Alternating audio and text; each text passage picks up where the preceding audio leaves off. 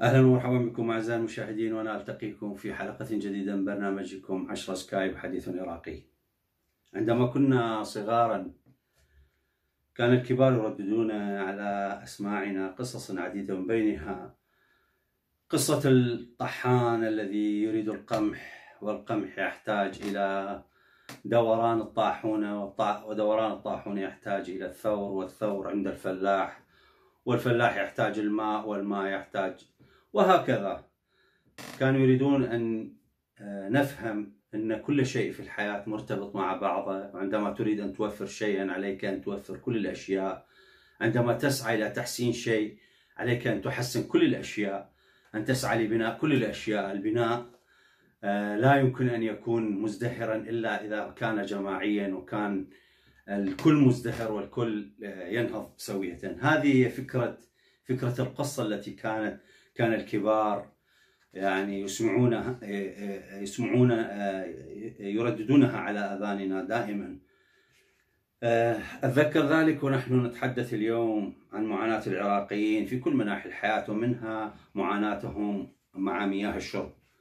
هذه القضية تلوث مياه الشرب قضية خطيرة ومهمة وكبيرة 17 سنة وأهل العراق يشربون مياه ملوثه مع الأسف.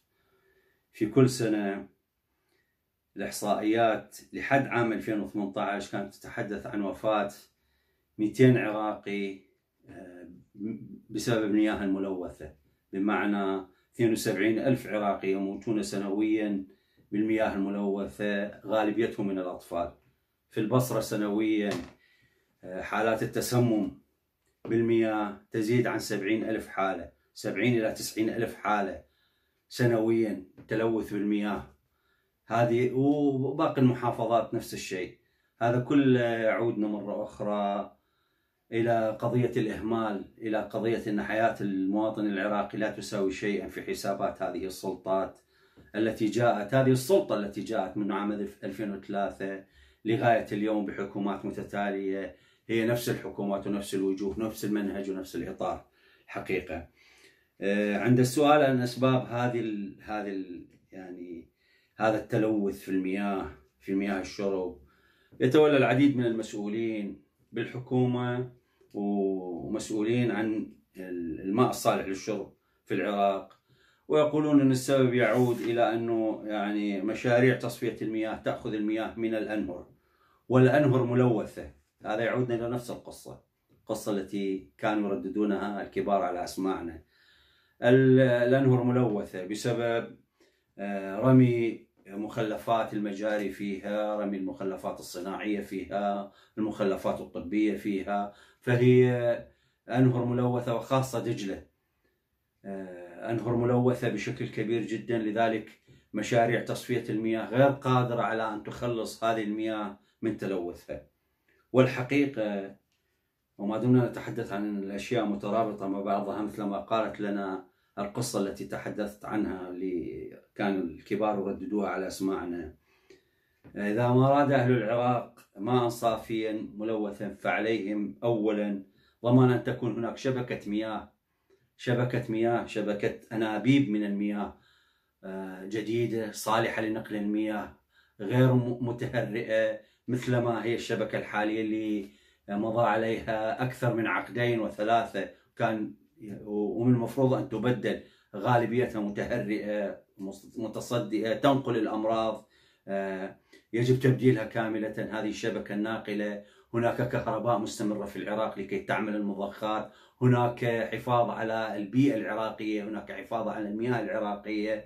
هناك ضوابط تمنع رمي النفايات في الأنهر هناك شبكة من من من من التصفية من أرقى ما يمكن. هناك هناك شبكات للمياه المجاري بعيدة عن عن مياه الشرب آه، لا لا تعمل بطريقة علمية وطريقة حديثة وتصفي هذه المياه الثقيلة بعيدا عن مياه الشرب لا تندمج معها مثل ما هو حاصل في العراق آه، آه، لا يمكن لا يمكن دفع المياه إلى إلى المواطنين العراقيين من غير فحص أو التاكد منها خالية من من الجراثيم والأوبئة والأمراض.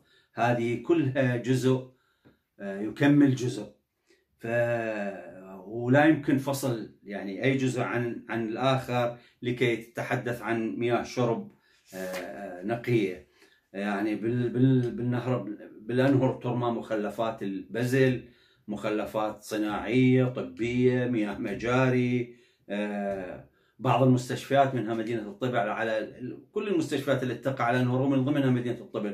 ترمي يعني مخلفاتها الطبية وحتى الأعضاء المستأصلة مثل ما يقولون في نهر دجلة. هذا يتحدثون جزء من عندهم.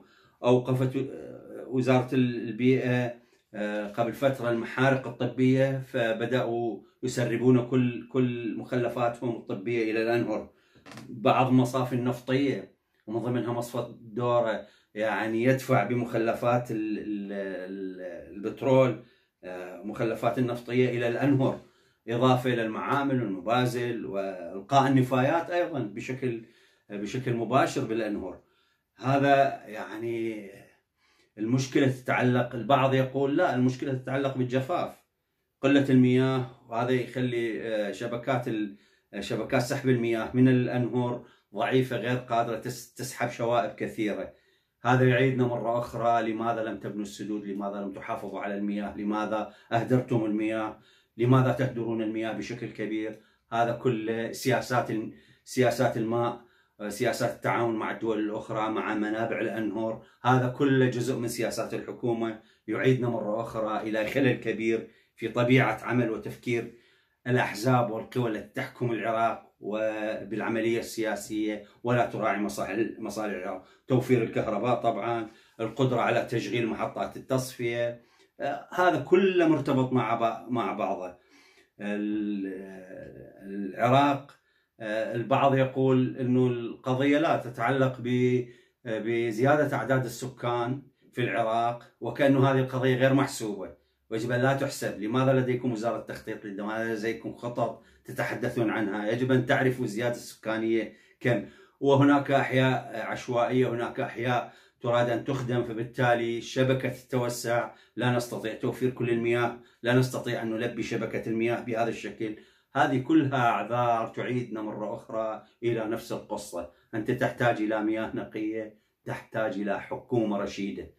إلى فكر رشيد إلى فكر وطني إلى قيادة حكيمة إلى طبقة سياسية تراعي المواطن تخدم المواطن. هم المواطن هو الهم الأساسي. آه، تراعي ماله تراعي عرضه تراعي صحته تراعي آه، تعليمه تراعي كل شيء فيه هذه الخدمات تقدمه له مجانا. وزارة البيئة تتحدث أن وزارة الكهرباء ترمي بمقدار 2 آه، مليون ونصف متر مكعب من المخلفات في نهر دجلة. أمانة بغداد ترمي مليون وأربعمائة ألف متر مكعب في نهر دجلة. وزارة الصحة يقولون ترمي 80 ألف متر مكعب من المخلفات في نهر دجلة. وزارة, وزارة النفط ترمي 23 آه، ألف متر مكعب من المخلفات في نهر دجلة. هذا كله يعيدنا مرة أخرى إلى الحديث. أنه توفير المياه آه، استوجب تغيير الإطار السياسي. مثل ما تحدثنا في حلقة سابقة تريد كهرباء؟ غير النظام السياسي. تريد ماء صالح للشرب؟ غير النظام السياسي. هذا النظام السياسي هو البلاء. هو العلة العلة تقع علة بنيوية تقع في أصل النظام السياسي. هذا النظام السياسي نظام محاصصي نظام يستولي على ثروات العراق. لا يريد أن يخدم العراقيين هم العراقيين لا يساوي شيئا. أرواح العراقيين دم العراقيين أعراض العراقيين كرامة العراقيين استقلال العراق سيادته لا تساوي شيئا عندهم لذلك كل كل شيء عنده مباح وأهل العراق يشربون مياه ملوثة وأهل العراق يزداد في كل سنة يقدمون التضحيات الكبيرة بالمياه الملوثة وغير المياه الملوثة وتعددت الأسباب التي تقتل العراقيين مع الأسف. إلى هنا تكون الحلقة قد انتهت. ألتقيكم في حلقة أخرى. إلى ذلك الحين أستودعكم الله والسلام عليكم.